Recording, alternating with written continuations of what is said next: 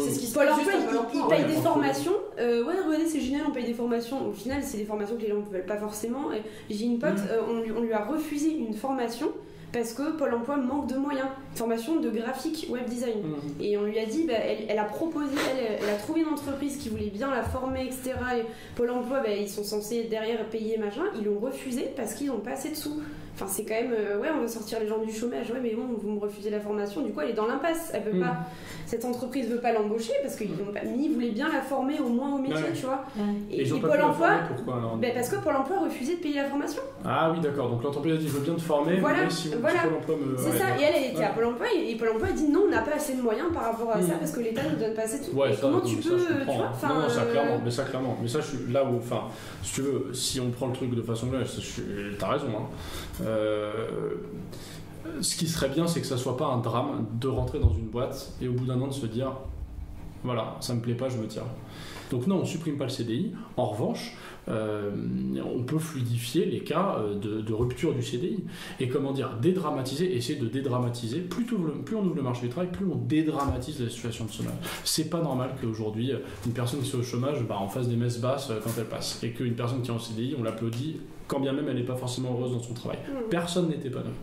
Donc pour que les gens soient épanouis, si tu fluidifies, en maintenant le CDI bien sûr, mais un CDI plus souple, bah à ce moment-là, et avec à à la fin du... C- Enfin, essayer de rapprocher le CDI et CDI, parce que le CDI c'est aussi beaucoup plus précaire. Comment faire Mais- un CD plus souple?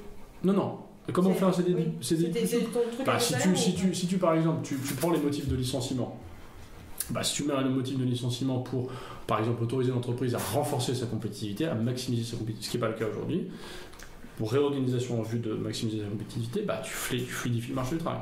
Mais du coup, je, je pense que du coup, je, je comprends très bien où tu veux en venir, quoi. Je comprends très bien. Non, mais du coup, bah, c'est bah, c'est- la casse petit à petit du code du travail, mais c'est ce qu'on est en train de faire. Non, c'est pas le cas. Mais non, Mais si, bien sûr, mais parce que la fluidification du CDI, ça veut dire genre pouvoir faire des ruptures de contrat. Pouvoir faire des ruptures de contrat parce que par exemple sur des, des, des- des plans de licenciement larges en termes de, bah, du coup on fait plus assez de profit, du coup on a besoin de licencier les gens qui sont en CDI, du coup on les licencie sous motif de, euh, par exemple, je sais pas, crise économique, euh, crise de machin, euh, on fait pas assez de bénéfices. Bam, du coup on peut tacler sur les CDI, en plus des CDD.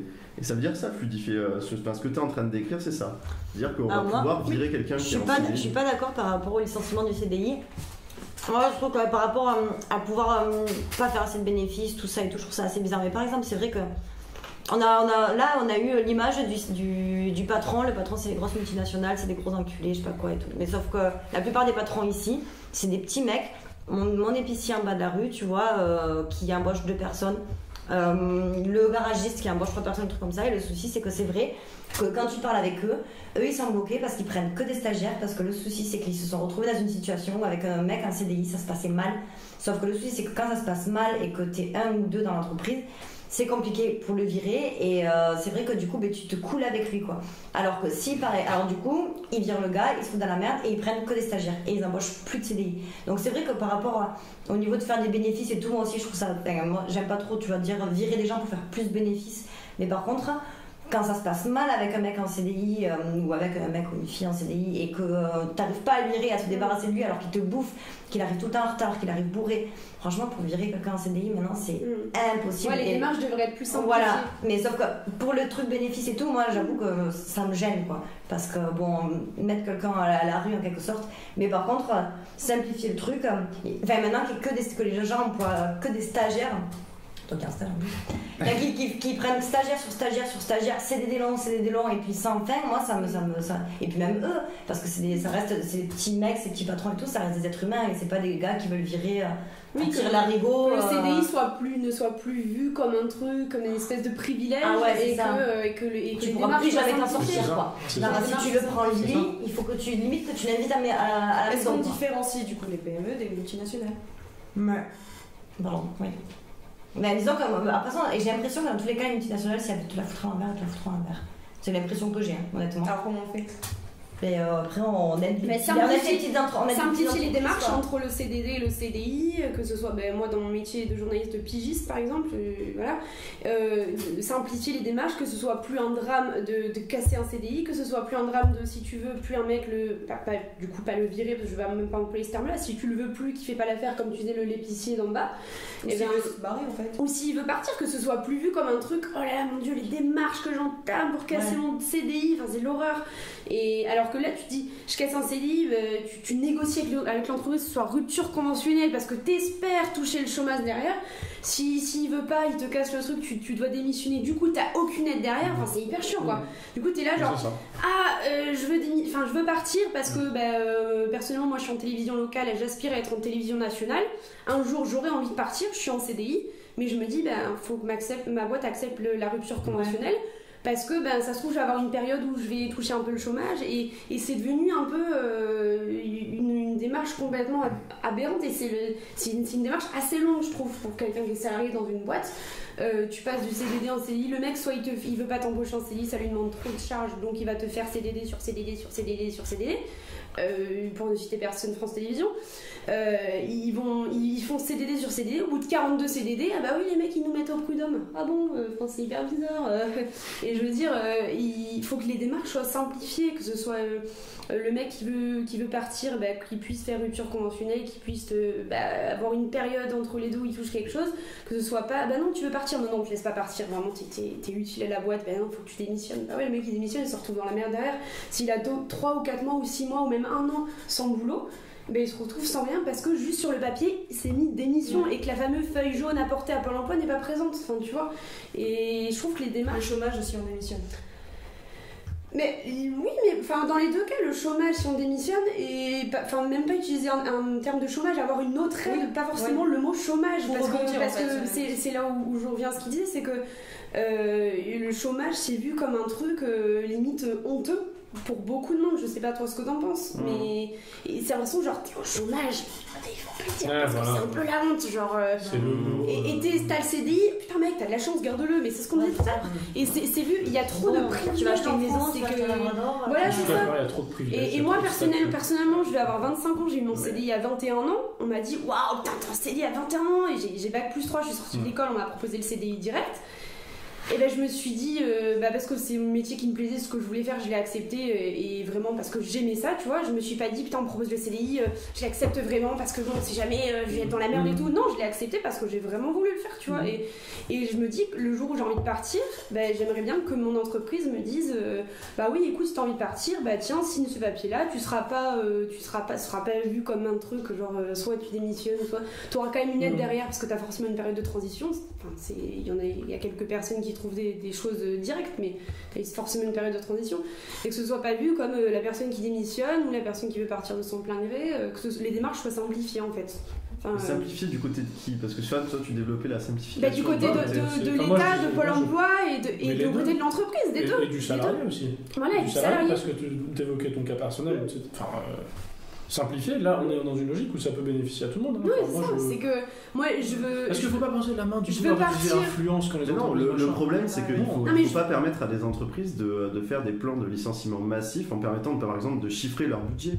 Oui, mais là tu vois, tu vois, tu vois complètement l'extrême de. de... Mais non, pas du tout, parce que le truc en fait, c'est que genre le cas particulier de l'épicier en bas, c'est c'est pas quelque chose qui va impacter. euh, Enfin, c'est pas ça qui impacte l'économie quoi. Mais si, Parce là, a- je reprends le slogan, l'artisanat, première entreprise. Mais non, mais-. Regarde, regarde, par exemple, Le commerce et l'artisanat, Oui, les magasins Mais oui, mais tous ces gens-là, ils sont écrasés par qui? Ils sont écrasés par le Polygone, ils sont écrasés par Odysseum, ils sont écrasés par les non. grosses boîtes qui sont autour. Eh non, bah, Bien ils sûr que ils sont toujours là. Ils sont pas écrasés par Ah, mais Bah, si, ils sont écrasés.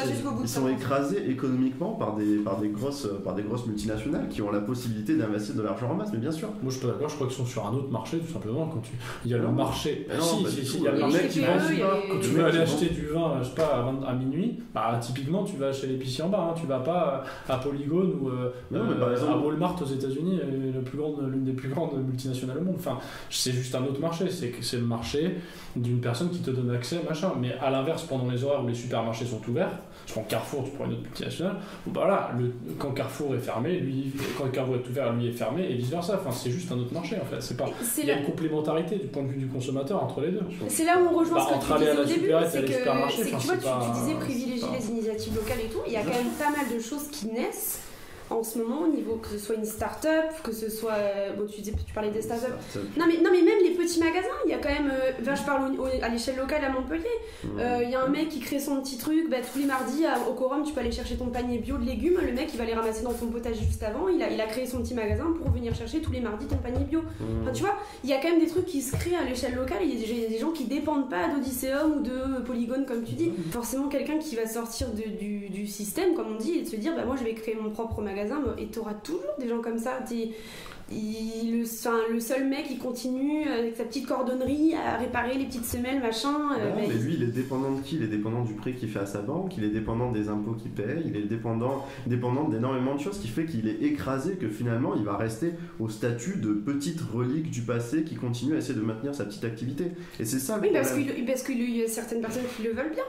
Quand tu, quand tu dis certaines. Enfin. Bah ouais, parce que ça dérange pas. Et je veux dire, mais c'est ça le problème. Le problème, c'est que euh, l'épicier d'en bas, qui peut pas embaucher son, son gars en CDI ou qui peut même pas embaucher un CDD, il peut pas le faire parce qu'il est pris, dans- il est pris dans un étau qui fait que. Je suis pas d'accord avec toi de dire qu'il il peut pas dépend de quelqu'un. Non, mais les taux, Là, bah, je, ça, parlais, je parlais pas. au niveau économiquement, hein, je parlais par exemple le petit épicier, c'est au niveau euh, s'engager, il va prendre des CDD Mmh. et c'est au, au niveau s'engager sur un CDI. Ouais, s'engager c'est ça, sur quelque c'est- chose. c'est que Le- le- après, je pense qu'économiquement, ouais, il y en a qui doivent vraiment misérer et qui peuvent pas, donc ils se tapent des horaires pas possibles. Mais là, je parlais plus au niveau de la fluidité. Parce que c'est trop compliqué, les CDI. Que Mm. c'était par exemple le petit épicier du coin, mais il va pas le, le mettre le CDI parce que ça va être, il va être là, non, Mm. je le connais pas assez Soit je bien. le garde à vie, soit. Je sais euh, pas, ouais, tu c'est un peu. euh, des fois, t'en as, t'as enfin, quand tu parles de CDI, t'as l'impression qu'ils se mettent à corps de coup. Bon, je prends un, mec en CDI, euh, c'est tout ou rien. Toi, ça a l'air de pas te.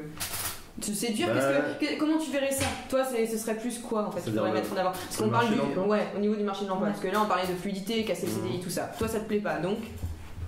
Bah, du coup, moi je pense que bah, si on revient sur le, on, re- on revient sur le, sur le salaire à vie de Frio, quoi. Ouais. Je pense que bah, on revient sur le fait que tu dois pouvoir toi choisir quelle formation tu veux faire parce que tu veux bosser dans tel endroit. Parce qu'en fait, la vérité c'est que les gens quand ils sont au chômage, ils s'emmerdent.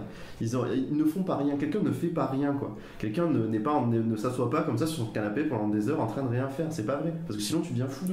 Et donc Enfin, du coup, enfin, il n'y a pas de, il y a, il y a pas de, de- de- le, le fait en fait de, de diviser le monde en deux catégories, les gens qui travaillent et les gens qui travaillent pas, ça crée direct une espèce de, de, de, de, de- de ghettoisation en fait. C'est exactement ce qu'on Oui, dit. c'est exactement ce qu'on dit. dédramatiser. C'est exactement euh, mais du coup, en fait, dé- Exactement. le- ce qui se passe actuellement, c'est que actuellement, les gens, ne- enfin les gens qui travaillent pas, en fait, ici, ils travaillent. Je veux dire, quand tu es, quand es au chômage, tu ne fais pas rien.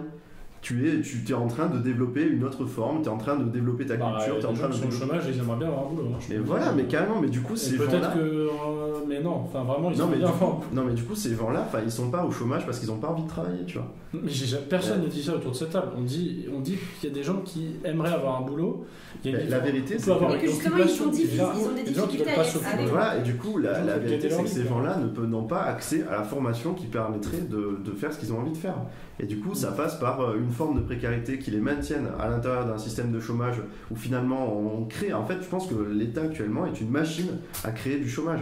C'est-à-dire qu'on a besoin que ces chômeurs restent chômeurs pour que le marché de l'emploi reste compétitif et que les gens puissent leur dire si tu ne prends pas ce boulot, quelqu'un va le prendre à ta place. Et ça, s'il n'y a pas 11 000 chômeurs derrière, on peut pas le dire aux gens. Donc donner Ah, un confort à tout le monde. Moi non plus. Donner un- moi je pense que En fait, donner- ce non. serait supprimer une espèce de compétitivité Non, qui bien est sûr. Non, mais en fait, c'est la, la Attends, fin juste on finit la pensée et après t'interviens. Je suis désolée, je je vous C'est mal c'est carrément ça. Le fait de donner un salaire à tout le monde, ça permettrait aux gens de se libérer de la pression de je suis obligé de trouver un emploi quoi qu'il arrive.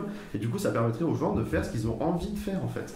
Et c'est ça, et ça libérerait les gens, ça leur permettrait de faire les formations qu'ils veulent, et du coup de, finalement de- d'être plus productifs en vrai. D'être plus productifs parce que du coup ils font quelque chose qu'ils ont envie de faire et ils font pas un job pour survivre. Bah, en gros, je pense qu'on est d'accord sur le constat, c'est-à-dire, voilà, euh, il y a une dualité, il y a des gens qui chôment, etc., ça va pas. Ah non, je suis pas d'accord. non, mais sur le constat, le sur le fait constat, on est d'accord pour dire que ça va pas. Enfin, à moins que tu Ah, je suis d'accord. Moi, je trouve que fait ça va pas. Si tu dis que ça va pas, Je suis d'accord. On est d'accord sur ça l'objectif qui est libérer les gens. Bon, on n'est pas d'accord sur le chemin à suivre. Euh, Si tu as, si t'as, euh, comment dire, une, une allocation chômage euh, qui t'accompagne, enfin, qui dit, euh, c'est. Non, c'est ça tout ça- pareil. Non, non, je sais que ça, ça- je sais que c'est pas du tout pareil. salariat, c'est pas Mais je réponds, pareil. je réponds, voilà, tu as une allocation chômage qui t'aide à- qui t'aide dans, ta- dans tes démarches, etc. Bon, ok. Euh, maintenant, euh, euh, comment dire, rémunérer tout le monde de la même manière. En finançant cela, on verra, je sais pas, on sait pas comment, mais bon, à part- je pense que ça va coûter un certain, un certain prix. Euh, donc tu, tu, tu payes tout le monde de la même manière, tu mets tout le monde à la même adresse, etc. Pour le la là, tu casses, mais tu casses tout. en fonction de ton niveau d'études. C'est-à-dire en, en fonction Ah de- non, mais c'est en fonction de ton âge en fait. C'est même pas ton niveau d'études, c'est ton âge. Parce que tu disais que c'était un salaire à vie qui allait à 18 ans, 1200 et euh, 90 Tu ans. commences avec un euh, seuil, mais ça, ça, dépend le, ça dépend le type de boulot que tu fais, ça dépend de la pénibilité du boulot que tu fais. Quelqu'un qui ramasse par exemple les poubelles tous les matins et qui se lève hyper tôt et qui fait toute la tournée Mhm. devrait être payé au même titre par exemple que quelqu'un qui a fait euh, par exemple un bac plus 5, tu vois. Parce qu'il y a une pénibilité du travail et que c'est un travail que par exemple personne ne voudrait faire. Il y a, souvent il y a cette argumentation, c'est que quand on dit bah, on va rémunérer tout le mais monde de la un façon, juste un truc. Si les on est gens dans un où on dit aux gens euh, que vous travaillez ou non, vous aurez la même chose, crois bien qu'il y a beaucoup de gens qui vont dire bon bah dans ce cas-là, je Ben vais non. trouver une occupation. Non mais Eh parce ben, ça dans ton c'est schéma, euh, quand, on, exactement. quand on fait C'est des pompes chez soi, on travaille. Mais c'est pas vrai, tu vois. Tu fais des pompes chez toi, tu crées pas de la richesse. Mais là tu, tu pars sur un truc Mais non mais je prends un exemple. En mais fait, tu me les dis- gens font des choses. Les gens font des choses. Mais c'est faire des choses, c'est pas ça qui crée de la richesse. C'est-à-dire que ton truc, faut le payer. C'est Alors, l'argent, c'est Tu me disais- tu me d'accord. disais juste un truc parce que toi tu disais. je crois que t'as mis le 1200. poids sur vraiment ce que vous êtes pas d'accord, c'est créer de la richesse. Bah oui, toi tu disais 1200 euros, débrouillez-vous. Bah, il faut les créer les 1200 euros. Là, on les crée pas là dans ton truc, tu vois. Tu C'est dis, pas vrai. t'as des gens qui. qui, qui... C'est pas vrai. c'est pas vrai, si, c'est vrai, je suis désolé. Tu prends un type dont l'occupation c'est de faire de la muscu, bah il crée pas forcément de la richesse. Mais attends, mais il y a des tas de types qui créent pas de richesse et qui accumulent de, de, de l'argent. Genre par exemple, les Et gens qui sont rentiers et qui euh, louent des appartements et qui, a- qui finalement. Les gens rentiers ne créent pas de richesse. C'est pas vrai. Les gens qui font, euh, par exemple, qui vendent des tableaux à je sais pas combien de le, le- le tableau, la toile comme ça, ils ne créent pas de richesse. C'est pas vrai. financer la, la, la, la- l'aide sociale, etc., ça, ça se paye. Et donc, il faut se situer dans un cadre économique qui permet la création de richesse. Et ce cadre, c'est le marché. On ne peut pas penser hors du marché. Enfin, Bah, on si, peut, mec, je on pense peut, qu'il faut le faire. on peut, mais si on Je le fait, qu'il faut le on le fait, on le fait dans un cadre où on ne crée pas de richesse et où donc on n'est pas réaliste. Donc moi, si on est réaliste, C'est on crée la richesse. ça, c'est un argument d'autorité.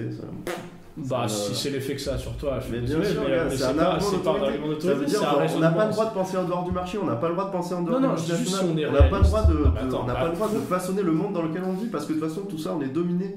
C'est chiant. Non, non, j'ai pas dit, pas dit que c'était J'ai dominé. pas envie. Non, mais attends, c'est juste un principe de réalité. Mais tu vois, moi je Non, moi, mode- moi, je non, Là, je suis je d'accord avec lui et pas avec toi, Ouais, c'est que tu dis être réaliste, mais justement, actuellement, on est trop mis dans des cases pour être réaliste. Tu vois, il y en a qui sortent de cette réalité, Mais qui veulent bien. sortir de la bien. réalité, tu Mmh. vois. Et je pense que c'est là où tu veux en venir, c'est que être réaliste, enfin, là où ce que, ce que je comprends de ce que tu dis, c'est que tu dis être réaliste, mais au final, enfin, on va pas faire un cours de philo, mais qu'est-ce que la réalité actuelle, tu vois? Non, mais, non, mais c'est vrai, c'est Quand que. être réaliste, c'est juste qu'il y a un mode de production. Enfin, le Oui, marché, mais pourquoi ça fonctionne comme ça Et pourquoi une personne ne va pas- Une personne va avoir envie de changer les choses. Non, Ça veut pas dire qu'elle est pas réaliste. Ah, Attends, soviétique. on parle pas tous en même temps, s'il vous plaît. juste- Après, je finis, je finis. une L'Union personne qui, a envie de faire Ah, changer, les choses, ça veut pas dire qu'elle est pas réaliste. Tu vois Toi, tu dis, euh, t'en as l'impression que t'es Non, je t'es dis pas ça. confiné dans ta case, Non, non, genre, non, non, faut pas être du tout, réaliste, pas du tu vois Il y a des gens qui je ça, marché, attends, quoi. Juste Ah parce oui, que quand tu c'était dis pas- Et on peut changer les penser choses. différemment. Ça, t'as totalement raison. Mais je veux dire, euh, moi, moi je veux changer les choses. Enfin, Mais j'ai dans proposé l'économie de- de marché. On en parlait ce soir. Euh, Mais il faut que ça mais rentre ça dans veut le pas truc dire qui que. existe Mais ça déjà. veut pas. Non, c'est pas ça. Ça veut dire qu'il faut tenir compte des réalités. C'est-à-dire dire, dire n'importe quoi, c'est pas vouloir changer les choses. On peut vouloir changer les choses en étant concret et donc réaliste. C'est ça que je veux dire. Être réaliste, c'est être concret. que je suis pas Non, non, je pense que t'es, t'es très. Moi, je t'aime beaucoup. Hein. On passe Mais un super marrant, tu moment. vois. Mais euh, tu m'es très sympathique, mais c'est juste que, voilà, pour moi, le système où euh, c'est que vous travaillez ou non, on vous paye de la même façon, donc voilà, c'est, simplement pas réaliste. Parce que c'est chiant d'avoir des riches et des pauvres, tu vois. Genre, le délire en fait. C'est la vérité, c'est ça que je veux il dire être réaliste. Là, c'est la réalité. Mais non, voilà, mais- là, euh, c'est la réalité. Il y a des riches, il y a des pauvres. Mais c'est à cause du système c'est bien. Mais, mais non, mais oui, mais dire on va donner un salaire égal à tous les gens de 18 ans, c'est absurde. Vous connaissez des gens de 18 Mais ans non, du, c'est les gens de 18 ans du 16e arrondissement, ils ont pas besoin de, ton salaire universel. Et t'as Oh des là gens de 18 ans qui vivent euh, dans les hauts cantons de l'Hérault, euh, à Saint-Pons de Thomière ou au Kellar, bah, je peux te dire que eux ils auraient besoin d'aide. Voilà, donc c'est- rien que ça, c'est Mais du coup, ça s'équilibre, ça, enfin, tu vois bien. ah bah oui, ça s'équilibre. ouais. On donne bien autant à celui du 16e arrondissement, à celui qui vit dans Mais un parce village que, de- mais parce que, mais, travail. mais parce que, mais parce que c'est, on n'a pas, enfin, on n'a pas Bah, besoin de 1000 descentes. Ouais, je suis pas d'accord. C'est pas grave, hein, on n'est pas. On, La vérité, qu'on- c'est que on les- ira se coucher en désaccord. Mais, Mais non, mais ça, ça, c'est sûr, mais c'était sûr dès le début. Mais enfin, je pense que ce qui est intéressant dans tout ça, c'est de, de, de se dire que rien n'est figé dans le temps. Le fait qu'on soit dans une économie de marché, c'est pas une fatalité. Quoi.